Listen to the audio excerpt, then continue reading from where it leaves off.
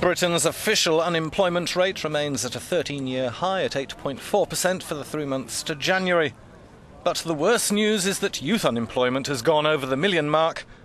22.5% of 16 to 25 year olds are jobless, the worst since records began in 1992. Wage growth has also slowed to just 1.4%.